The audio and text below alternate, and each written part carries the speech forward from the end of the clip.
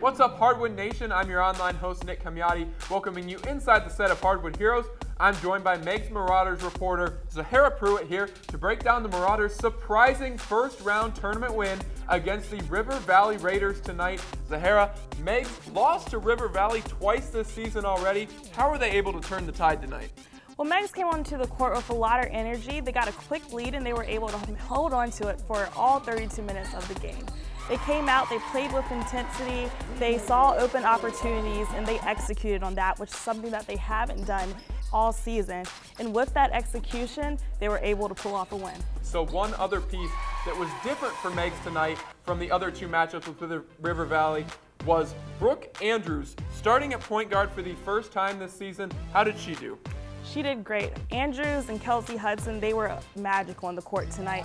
Andrew, Andrews started in the game and she was able to score a fourth of the Lady Marauders points, which is a big deal. 12 points. She put them up and she definitely stepped up in the second half with Kelsey Hudson scoring 20 points in the first.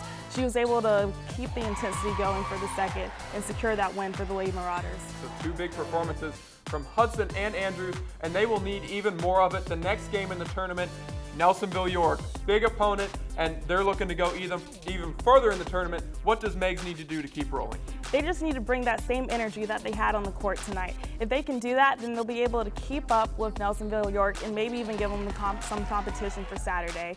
And you never know. Nobody expected for Meigs to win this game tonight, so hey, maybe they can pull it out over Nelsonville York on Saturday. Well, what a surprise win this was, and we will see if they can keep the upsets going. Thanks a lot, Zahara. Unfortunately, you have to wait until Sunday to view another episode of Hardwood Heroes, but until then, join us on the web at woub.org slash heroes to get all of your Tri-Valley Conference basketball news. While you're online, also check out our social media sites. Like us on Facebook, follow us on Twitter at Hardwood Heroes, and follow us on Instagram at WOUB Sports. On Instagram, send us your favorite pictures of your favorite teams and players. The very best ones could air on our next Pick of the Week segment. Also, use the hashtag ShootForTheShot join the conversations about your favorite teams and players. For Zahara Pruitt, I'm Nick Camiotti reminding you to be heroic.